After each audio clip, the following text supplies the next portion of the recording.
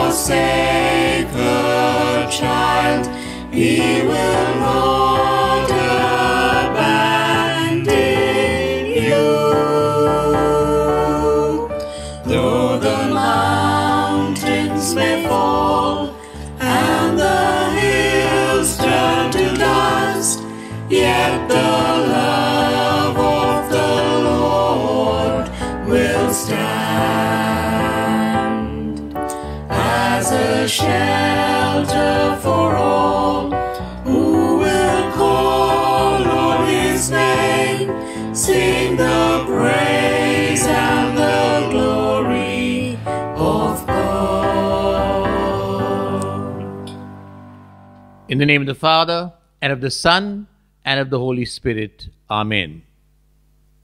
The grace of our Lord Jesus Christ, the love of God, and the communion of the Holy Spirit be with you all. and with your spirit.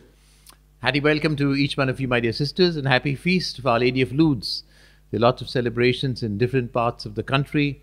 Uh, in India, many, many shrines of Our Lady of Lourdes, lots of pilgrimages, uh, lots of processions here, and maybe if you're abroad, in your own place also.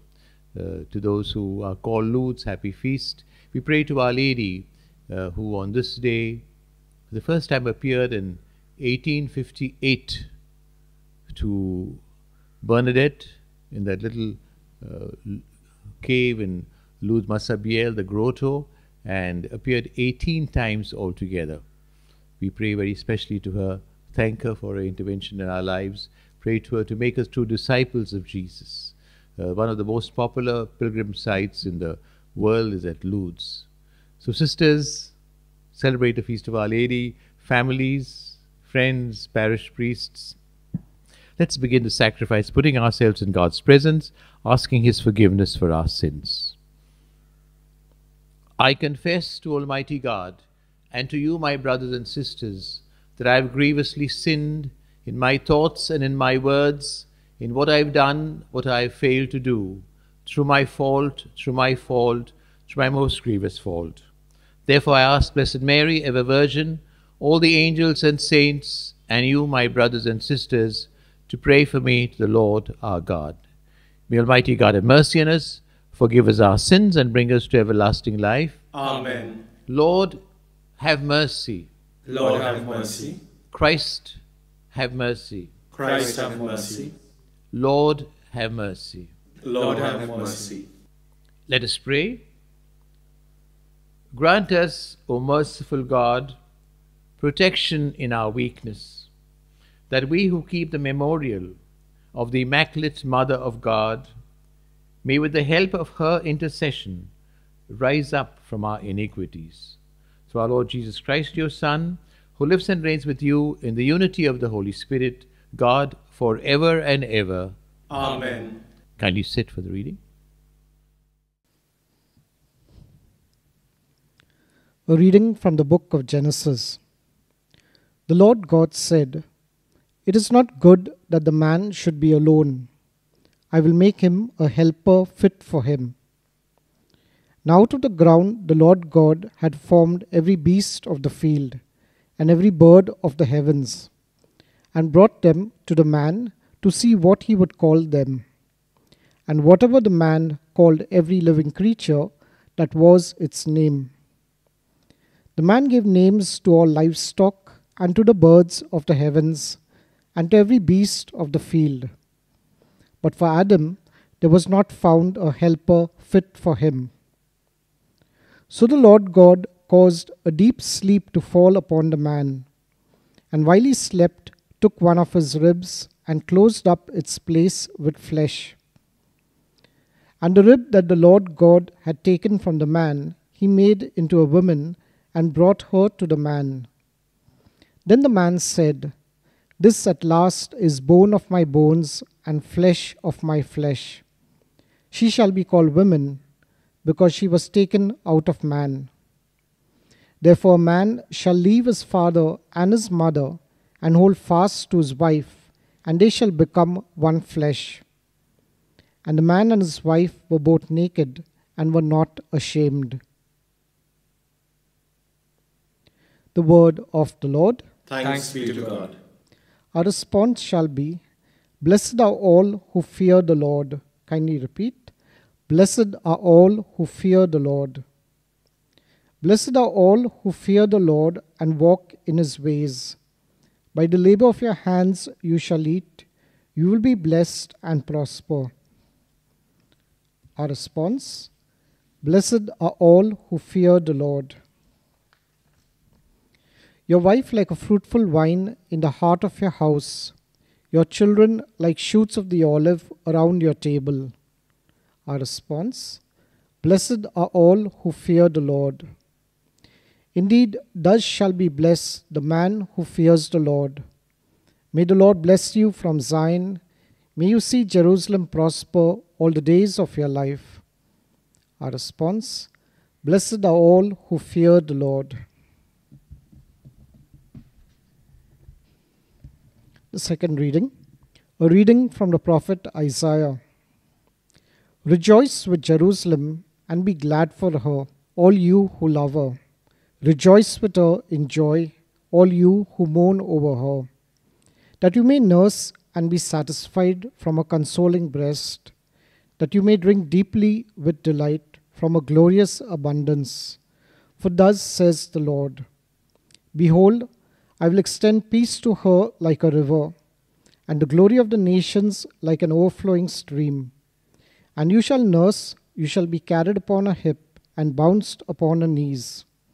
As one whom his mother comforts, so I will comfort you. You shall be comforted in Jerusalem. You shall see, and your heart shall rejoice. Your bones shall flourish like the grass and the hand of the Lord shall be known to his servants. The word of the Lord. Thanks be to God. Kindly stand as we prepare our hearts for the gospel.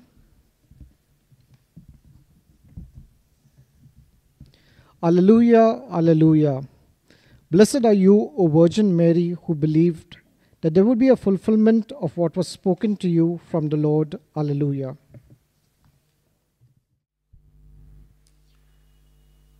The Lord be with you. And with your spirit. A reading from the Holy Gospel according to John. Glory to you, O Lord. At that time, there was a wedding at Cana in Galilee, and the mother of Jesus was there. Jesus was also invited to the wedding with his disciples. When the wine ran out, the mother of Jesus said to him, They have no wine. And Jesus said to her, Woman, what does this have to do with me? My hour has not yet come. His mother said to the servants, Do whatever he tells you. Now there were six stone water jars there for the Jewish rites of purification, each holding twenty or thirty gallons. Jesus said to the servants, Fill the jars with water. And they filled them up to the brim. And he said to them, Now draw some out and take it to the master of the feast. So they took it. When the master of the feast tasted the water now become wine, and did not know where they came from, though the servants who drew the water knew, the master of the feast called the bridegroom and said to him, Every one serves the good wine first. When the people have drunk freely, then the poor wine. But you have kept the good wine until now. This was the first of the signs Jesus did at Cana in Galilee and manifested his glory, and his disciples believed in him. The Gospel of the Lord. Praise to you, Lord Jesus Christ.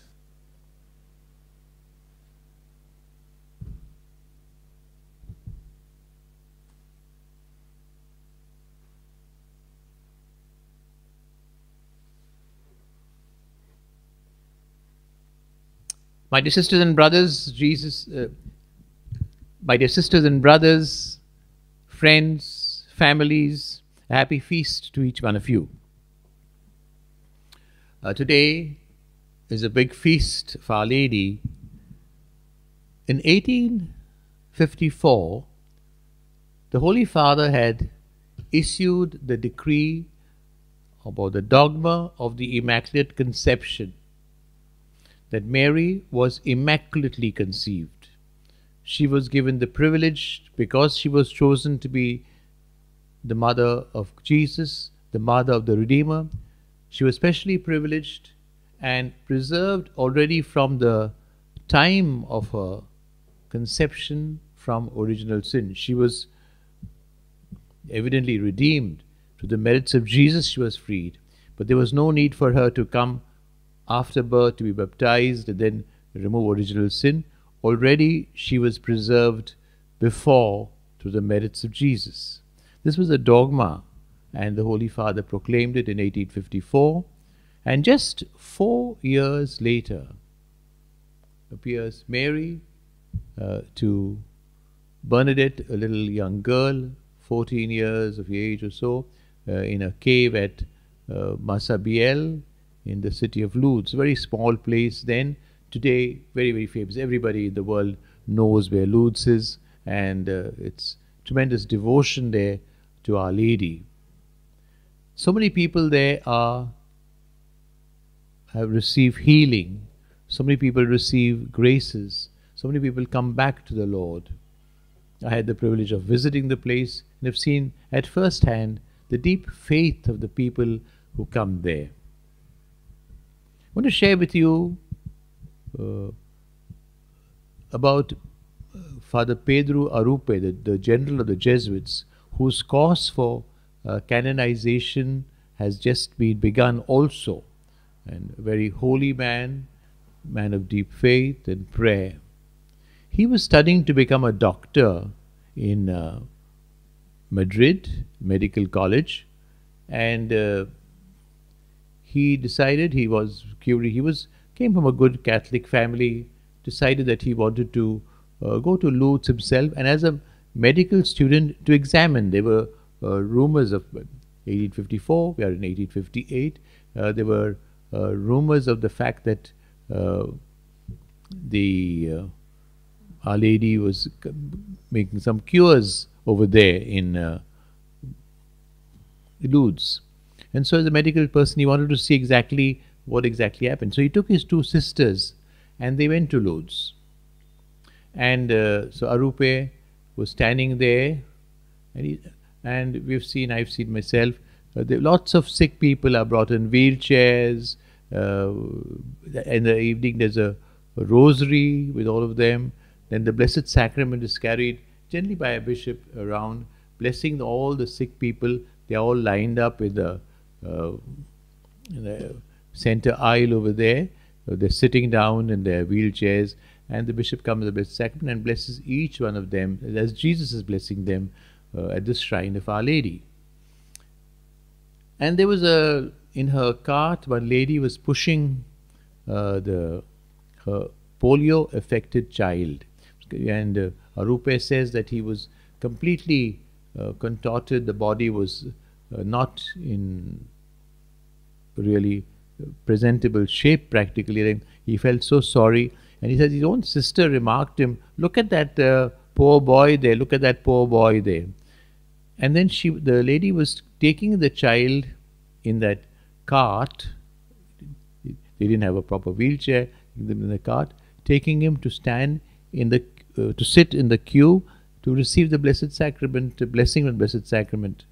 And uh, as they approached and they passed Arrupe. Arrupe says, I heard her saying, Mother Mary, help us. Mother Mary, help us. And she was saying the rosary loudly, the mother probably of this child, mother, almost certainly mother of the child. And uh, he says he, she went and she stood, sat in that particular place.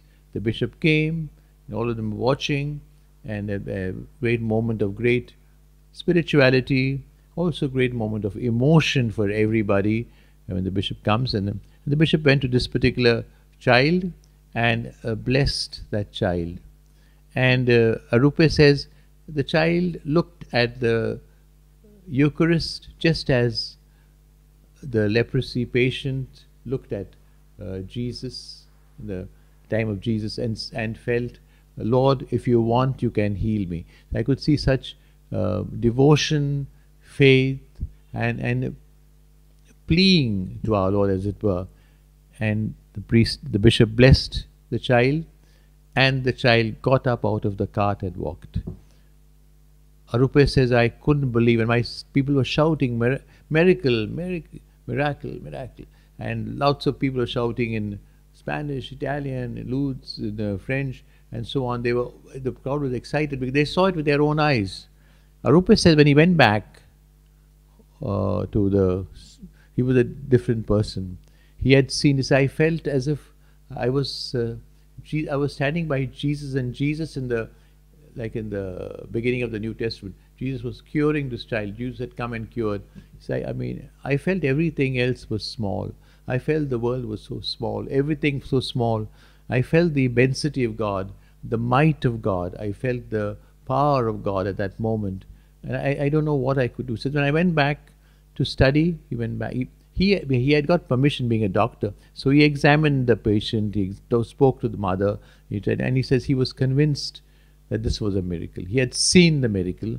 Uh, the process is the normally there's immediate examination, then afterwards it goes to an uh, they've got to come up, wait for one year to see if it lasts. Then an international commission of doctors examines.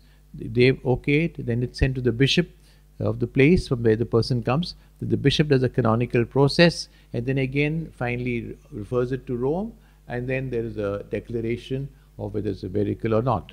Now he says, I saw it myself. I mean, I had no doubt whatsoever. He, Arrupe says, and Arrupe then went back to study medicine but he says, my, the, he says, right, my books fell out of my hands. I couldn't, I mean, I, I, I was studying uh, like rubbish. I was studying all these small things. There's Almighty God is there, He can do anything. He says, and my, students told me, my companions, some of were atheists, someone says, you look like a stunned man. And he, and he says, right, he says, I, I was stunned. I, I, I mean, I, I couldn't believe I had seen it myself. I had seen a miracle myself. I couldn't believe what I had seen. And uh, he left medicine. Three months later, he joined the Society of Jesus, went as a missionary.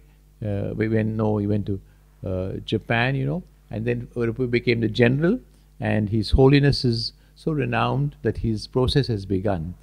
His Holiness, the transformation, he always believed, was a believer, but the impact, the call for His Holiness came at that moment at Lourdes. And uh, I personally met many people who told me how much of a spiritual cure they have received after going there.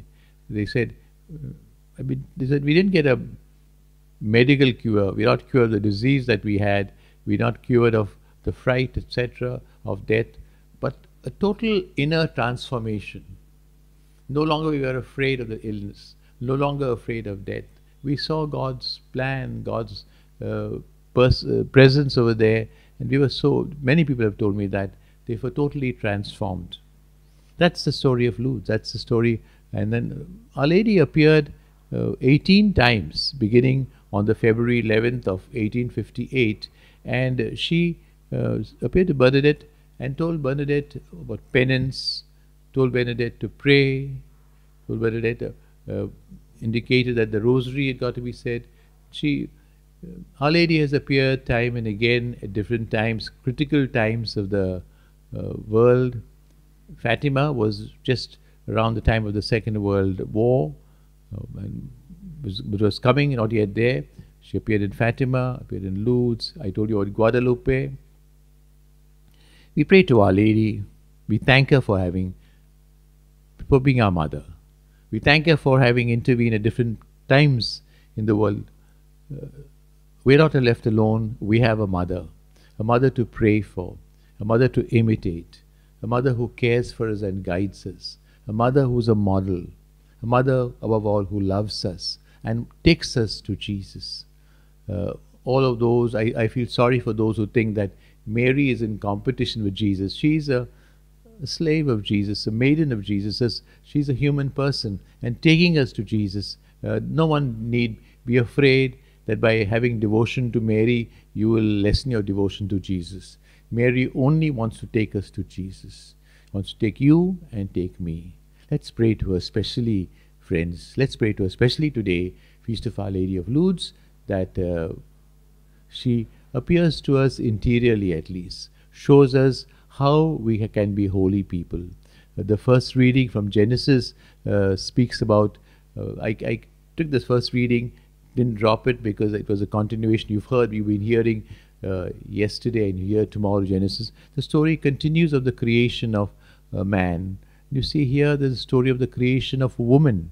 And here in the today's feast is of the creation of the most beautiful, most holy, our tainted nature's solitary boast, as the poet says. That's what we are celebrating today. May Mary, our mother, continue to pray for us, for you and for me and for all those in need. God bless you.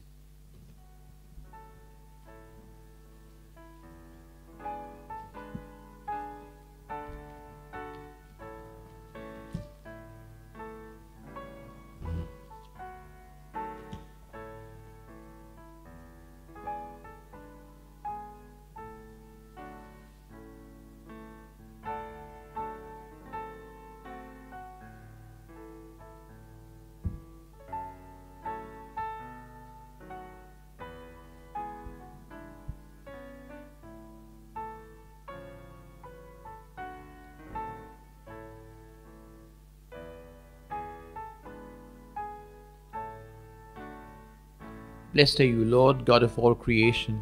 To your goodness we have this bread which we offer you, fruit of the earth and work of human hands. It will become for us the bread of life. Blessed be God forever.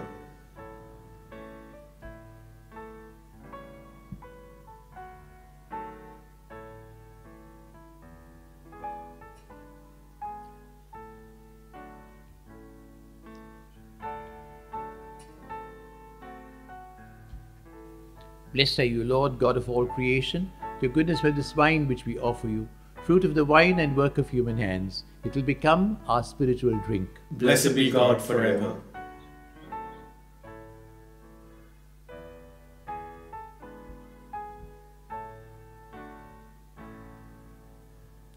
Pray, my brothers and sisters, that your sacrifice and mine may be acceptable to God, our Father in heaven. May the Lord accept the sacrifice at your hands for the praise and glory of his name, for our good and the good of all his holy church.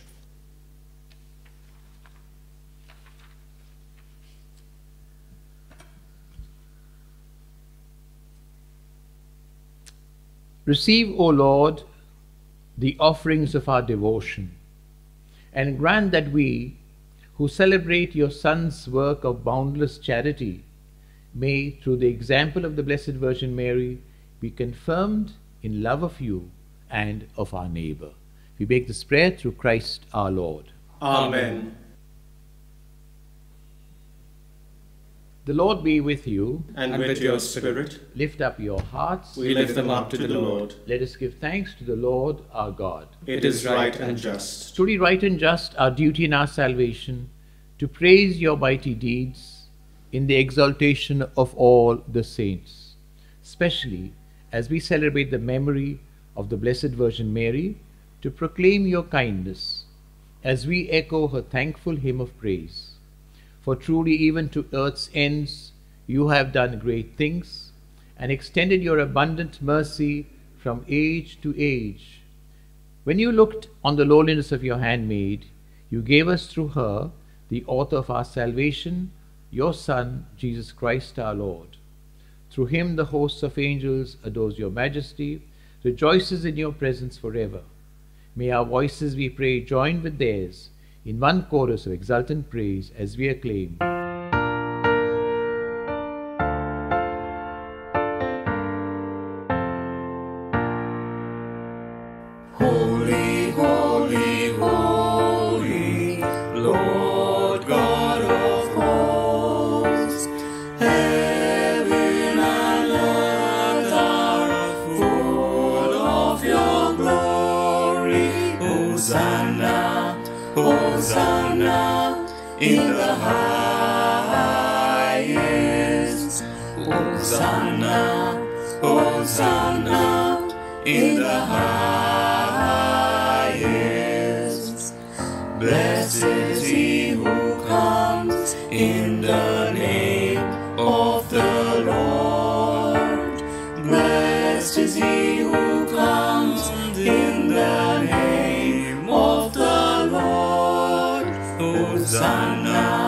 Hosanna, in the highest.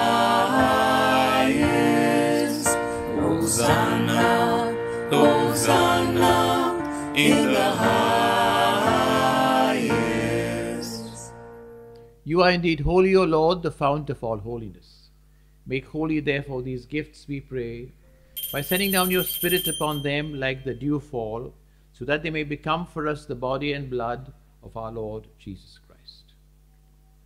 At the time he was betrayed and entered willingly into his passion, he took bread and giving thanks, he broke it and gave it to his disciples, saying, Take this, all of you, and eat of it for this is my body, which will be given up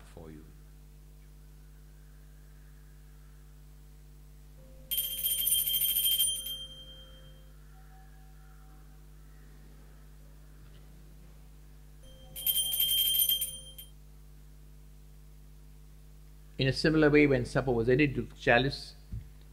Once more giving thanks, he gave it to his disciples, saying, Take this, all of you, and drink from it, for this is the chalice of my blood, the blood of the new and eternal covenant, which will be poured out for you and for many for the forgiveness of sins. Do this in memory of me.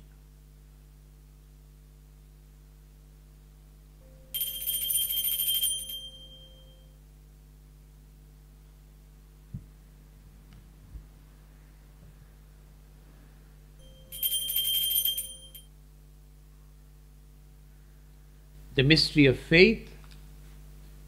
We proclaim your death, O Lord, and profess your resurrection until you come again. Therefore, as we celebrate the memorial of his death and resurrection, we offer you, Lord, the bread of life and the chalice of salvation, giving thanks that you held us worthy to be in your presence and minister to you. Humbly we pray that partaking of the body and blood of Christ, we gathered into one by the Holy Spirit. Remember, Lord, your church spread throughout the world and bring her to the fullness of charity, together with Francis Pope, me, your unworthy servant, and all the clergy. Remember also our brothers and sisters who have fallen asleep in the hope of the resurrection, all who've died in your mercy. Welcome them into the light of your face. Have mercy on us all, we pray, that with the Blessed Virgin Mary, Mother of God, Blessed Joseph, her spouse, with the blessed apostles, and all the saints who have pleased you throughout the ages, we may merit to be equal to eternal life, praise and glorify you through your Son, Jesus Christ. Through him, and with him, and in him, to you, Almighty Father, in the unity of the Holy Spirit, be all glory and honor forever and ever. Amen. Let us pray with confidence the Father in the words Jesus gave us. Our Father, who art in heaven, hallowed be thy name. Thy kingdom come, thy will be done, on earth as it is in heaven. Give us this day our daily bread. Forgive us our trespasses, as we forgive those who trespass against us. Lead us not into temptation, but deliver us from evil. Deliver us, Lord, from every evil. Graciously grant peace in our days. In your mercy, keep us free from sin, safe from all distress, as we wait in joyful hope the coming of our Saviour, Jesus Christ. For the kingdom, the power, and the glory are yours now and forever. Lord Jesus Christ said to your apostles, I leave you peace, my peace I give you. Look not on our sins, but the faith of your church, and graciously grant us peace and unity in accordance with your will, who live and reign forever and ever. Amen. The peace of the Lord be with you always. and with your spirit. Off with the sign of peace.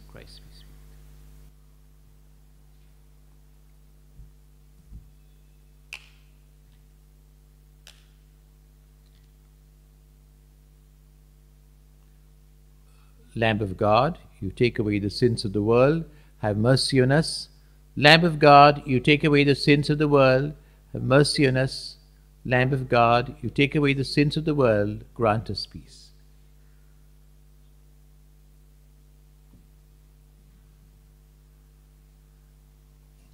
Behold the Lamb of God. Behold him who takes away the sins of the world. Blessed are those called to the supper of the Lamb. Lord, I am not worthy that you should enter under my roof. But only say the word, my soul shall be healed.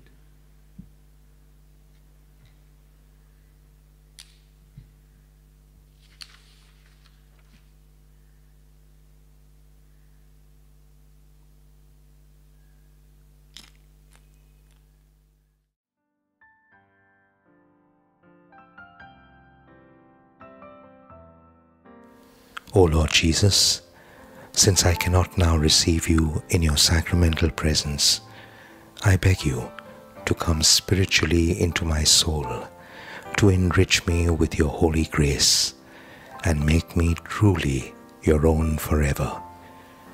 O Jesus, living in Mary, come and live in me in the spirit of your holiness, in the fullness of your power in the communion of your mysteries, in the perfection of your ways. O divine guest, give to my soul a strong, lively faith, an unbounded trust, perfect humility, an abiding sorrow for my sins, a total abandonment to your divine will, and a perfect loving union with you in mind and heart. O sacrament most holy, O sacrament divine, all praise and all thanksgiving be every moment thine. Lord Jesus, thank you for the blessings and graces you have given me through this spiritual communion.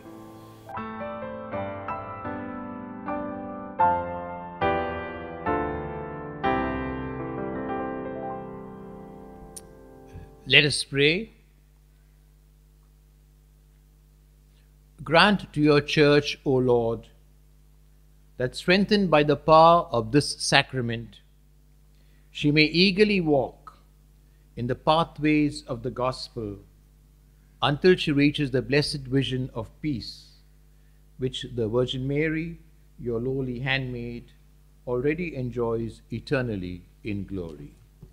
We make this prayer through Christ our Lord. Amen. Today, the feast of Our Lady of Lourdes. Uh, so many miracles over there, healings, and so it's also the World Day of the Sick. Sick, uh, and by the church, we we had. Uh, well, 20 years ago, we had the World Day of the Sick celebrated in Velankani, one the celebration in different parts of the world, and we'll have a celebration in Calcutta planned soon. I'll give you a special blessing for the sick.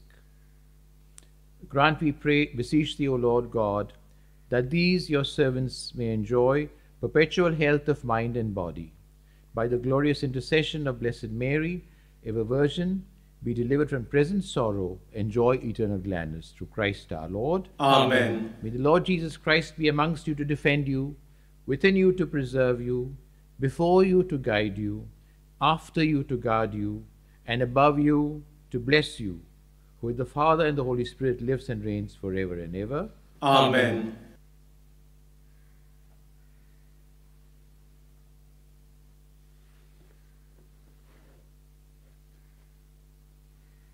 Through the intercession of our Mother Perpetual Succor, may the blessing of Almighty God, the Father, the Son, and the Holy Spirit come down on you and remain with you forever. Amen. The Mass ended. Let's go in the peace of Christ. Thanks be to God. Once again, happy feast. God's blessings. We pray to Our Lady to bring us special blessings today, and uh, especially for the sick.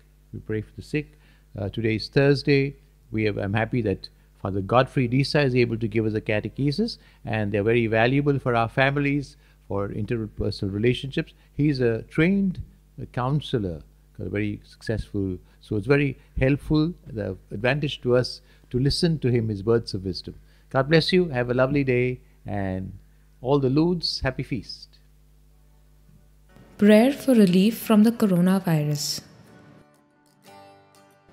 Almighty and merciful God, who show your love to all creation everywhere, hear graciously the prayers we make for all those affected by the coronavirus in various parts of the world. We come before you asking for an efficacious control of the outbreak, for a healing of those affected, for the victims and their families. We thank you for blessing the efforts of our research scientists working on the development of a vaccine. We pray that these vaccines will be effective in combating the virus and its mutants and in controlling the spread of the pandemic. We pray that the vaccine be available for all our people, even the poor and those in rural areas. We pray for doctors, nurses, and health workers who are in the front line of this battle. That they be kept safe and have the strength and courage to continue their heroic efforts. We pray for the government and health authorities that they take appropriate steps for the good of the people.